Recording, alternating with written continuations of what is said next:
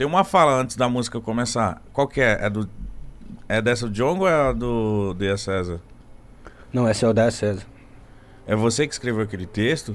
Então, as frases iniciais do da César, todas elas, sem exceção e sem nenhum tipo de modificação, são versículos bíblicos, tá ligado? Do Hum. início ao fim. Começa ali no livro de Tiago, depois vem Provérbios, Mateus. E por que, que, eu, que eu trabalhei essa intro de, de versículos, né? Porque, infelizmente, mano, tipo, existe uma certa.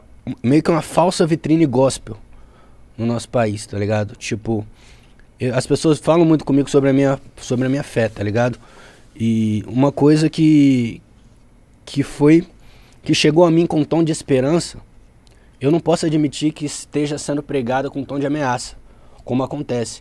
Então a gente tem visto versículos bíblicos como slogan de Nossa. políticos que não têm nenhum comprometimento com o cristianismo, Cris- cristianismo segundo Cristo, não cristianismo segundo historicamente organização de como interpretar a palavra, Sim. porque essa instituição eu não tenho muito compromisso com ela. Meu compromisso é ser cristão conforme Cristo. Então, mano, hoje tem, tem até um versículo em Romanos que fala que é, o gente, que a blasfêmia dos gentios muitas vezes ela é causada pelo mau testemunho daqueles que creem. E isso eu tenho começado, a, se eu estiver entrando muito no- na parada, vocês me dão Não, um toque. parça, tá pelo amor de? Deus. Que eu te fiz uma pergunta, você tá respondendo, Não, é- né? Eu achei é. da hora falar É que, tipo assim, é, muito, as- algumas pessoas religiosas acreditam que as pessoas que não creem e que blasfemam contra Deus, elas são pessoas que acordam e que elas odeiam Deus e que elas odeiam a igreja. De uma hora que- outra. E que elas vão ficar ali porque elas são do mal e vão ficar atacando.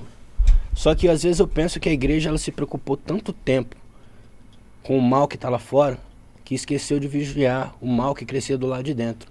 E hoje esse versículo se cumpre. Porque o mau testemunho daqueles que carregam a bandeira de Cristo hoje, vinculando a políticos específicos, vinculando a, a, a ideais que não são de Cristo, isso faz com que aqueles que não creem olhem para essa vitrine. Tipo, mano, eu não creio em Deus. Mas o que eu vejo nessa vitrine chamada cristianismo é um slogan de um presidente que age com, com frases de ódio, que, que tem uma postura completamente contra os valores do próprio Cristo. E, e eu posso ficar aqui uma vida toda, inclusive os episódios históricos no decorrer da história aí que carregaram bandeiras de cristianismo, muitos deles são tragédias, tá ligado?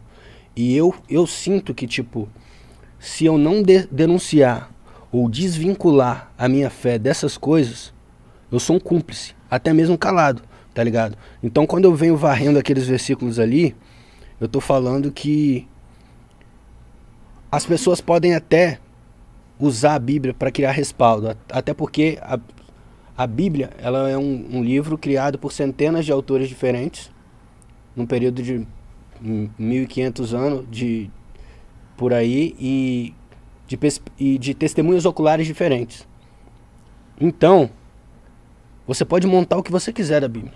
Se eu quiser montar a teologia da morte, eu consigo montar a teologia da morte. Se eu quiser criar a teologia do racismo, eu consigo criar a teologia do racismo.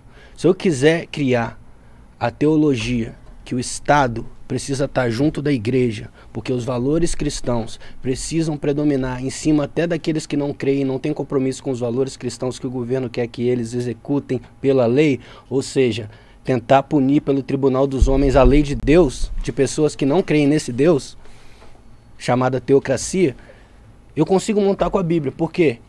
Da mesma forma que tudo que eu falei aqui durante 24 horas, se você quiser montar o César mais canalha que você conseguir pensar, você monta. Se eu pegar o seu dia hoje, de 24 horas aí, e montar o que eu quiser, mano, eu monto. Então, a má intenção desses pastores e de, desses líderes é imensa, mano, tá ligado? É imensa. Então, eu me senti num lugar de dizer que a Bíblia é o que ela é, não o que fizeram dela. E você pode. E aí, claro, né, mano, cada um com. Independente disso, as pessoas podem não crer, podem achar que não, não é interessante, mas que pelo menos tenham um encontro honesto com o que ela é, não com o que fizeram dela. Então eu vim mostrando que a justiça social o valor aos oprimidos, que valoriza o amor ao próximo, que olha a sociedade e humaniza as pessoas, ela está presente na essência do evangelho, entendeu? Então, dar a César o que é de César, ela traz esse toque que confronta a religiosidade nessa perspectiva aí, né, mano? Tá é, muita galera confundiu as paradas, né, mano?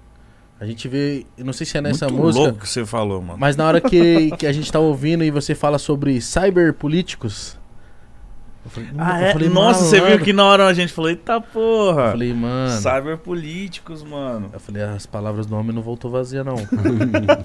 muito louco. Caralho, ele falou agora, eu brisei muito. E é isso muito que acontece, tipo, com religião, né? Hoje em dia tem pessoas que falam de religião ou falam de Deus, fica já. Ah, mano, os caras lá tudo rouba, os caras tudo filha da puta, só usa o nome Pois de... é, mano. E é isso mesmo, né, mano? Tá ligado? Quantas vezes... pessoas se é. afastam é. de Deus ou algo do tipo, justamente porque o, reflete isso pra eles, né? Tipo, mano, olha os caras aí que tá no, no, mano, na liderança. Você falou tudo mano. agora, mano. Tipo, a intenção dessas pessoas é tipo, é literalmente um olhar sincero, tá ligado? Tem pessoas que não, não, não querem diálogo, sempre tem. Mas muitas pessoas são simplesmente sinceras, mano, ó você tá me falando aí de Deus, mas Deus tem a ver com isso, isso e isso. Tô fora, mano, tá uhum. ligado? Eu não quero saber. Porque elas estão tendo uma perspectiva do que fizeram, não do que realmente é. E eu acho que é honesto as pessoas tirarem a conclusão do que é. Ainda que a pessoa chegue à conclusão que não é para ela também. Mas que pelo menos saibam o que realmente é, tá ligado? Então se existem vozes que se levantam para falar besteira e tentar embasar biblicamente tudo isso, também existem aquelas vozes que vão trazer as pessoas para o centro da coisa, tá ligado? Nossa, e tá faltando, hein? Tá faltando, mano. Você acha que a galera da igreja pode te olhar e falar que você não é cristão de verdade? Tipo, mano, é o que esse moleque tá falando. Cara, eu acredito que eu tô sendo expulso da sinagoga nesse exato momento.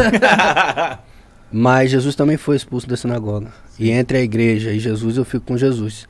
Porém, existe é, essa, essa visão generalizada do que é igreja, instituição, ela, ela, ela cria uma ilusão também, né? Tipo, exemplo, eu, vivo numa comunidade de fé que me respeita e que eu concordo muito com a forma que organizam e eu conheço pessoas e pastores e movimentos e diversas pessoas que não são o que essa vitrine diz, mano. É porque essa vitrine é muito poderosa, são líderes das de denominações absurdas e que tem vínculo com o Estado, e que, enfim, mano, estão em evidência. Então, essa visão geral, mano, tá ligado? Ela realmente distorce a coisa. Mas, mano, existem muitas vozes, mano, tá ligado? Muitas pessoas, mano, tá ligado? Muitas, muitas, e, e eu acredito que possa ser maioria, tá ligado? Possa ser maioria. Porque a questão é o barulho, tá ligado? A questão é o barulho. O barulho que essas pessoas mal intencionadas estão fazendo é gigante. Então acho que eu me sinto numa responsabilidade. Quando eu falo de ser expulso da sinagoga, eu não falo do sentido da igreja local tanto. Porque eu, eu, o valor da igreja, mano, é, é, é gigante, tá ligado? Eu amo a igreja, eu amo a comunidade.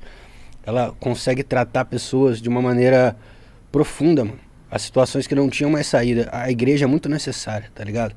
Mas, quando eu falo ser expulso da sinagoga, eu falo no sentido do consenso religioso predominante, tá ligado? O consenso religioso predominante, inclusive, é condescendente com o governo atual, tá ligado? Vinculadamente, tá ligado? Então, Jesus ele foi expulso desse consenso religioso da época. Aquilo ali que os fariseus é, e toda a cúpula judaica tinha como, é, como unanimidade do que era cristianismo, Jesus não, não tinha nada com isso, tá ligado? E ele foi o que foi sem dar satisfação para essa galera. Então eu acho que uma hora ou outra a gente tem que ser expulso mesmo, porque o caminho é estreito, mano, tá ligado? O caminho é estreito. E corrigindo o que eu falei, tipo, não é que falta é, pessoas boas que falam. Eu, eu, também acho que a maioria das pessoas são boas. Mas como quem se destaca mais é os mais loucos, então a pessoa. E, e, e, às vezes uma pessoa boa ela quer ter voz, ela quer falar, ela fala. Uhum. Só que às vezes a, a, as pessoas já olham com um olhar de julgamento. Eu acho né? que é o lance que ele falou, mano. a, a gente dá atenção para quem faz mais barulho, tá ligado? É, então, Sim. e alguém novo quer chegar, quer falar e falar, ah, mano, mais um, eu já, já, eu sigo há anos esse fulano aqui, eu é. sigo há anos a ideologia dessa, dessa parada.